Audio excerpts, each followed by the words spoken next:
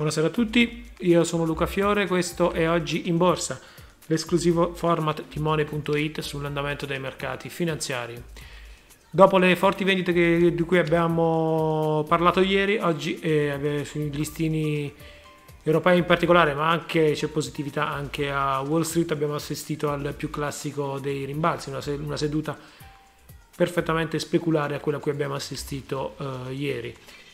In linea l'andamento del nostro FTSE MIB salito di circa 2 punti percentuali a 24.463,89 punti, spinto dalla performance eh, stellare di Stellantis, perdonate il gioco di parole, salita del più 7,03%, dopo aver annunciato di aver chiuso il primo trimestre con ricavi in aumento del 14% a 37 miliardi di euro e consegne in crescita del 12%.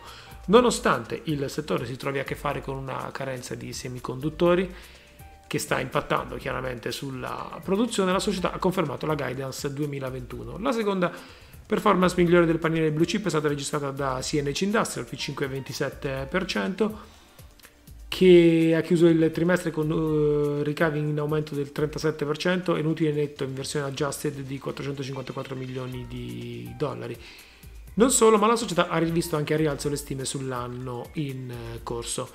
In depositivo, tra le società che hanno presentato i conti, c'è anche Intesa San Paolo, più 1,43%, che nei primi tre mesi ha registrato un utile di 1,5 miliardi di euro, quindi più oltre 30 punti percentuali in più rispetto a 12 mesi fa è decisamente maggiore del, del miliardo di euro stimato dagli analisti.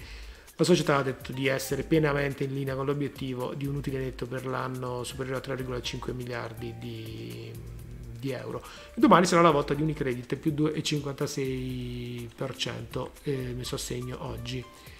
Tra le performance peggiori, peggiore si fa per dire perché sono decisamente, le contrazioni sono decisamente contenute, troviamo il meno 0,6% di Telecom Italia, salita parecchio nelle ultime sedute in scia delle, dei forti progressi dal fronte rete unica. Italgas che anche, oggi ha, anche essa oggi ha presentato i conti ed era a meno 0,24%. Sul completo la performance migliore, un rialzo a due cifre di poco sotto i 25 punti percentuali, è stata registrata da Exprivia più 24,75%, un nuovo balzo del titolo dell'AS Roma che dopo più gli oltre 20 punti percentuali di guadagno registrati ieri oggi ha segnato un più 9,23%, segno che l'effetto Mourinho non sia ancora esaurito, mentre tra le performance peggiori meno 8,43% di ePrice e meno 3,81% di Aedes.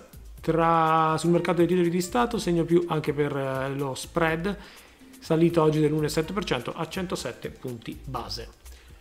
Da Money.it per oggi è tutto, l'appuntamento è a domani. Buona serata.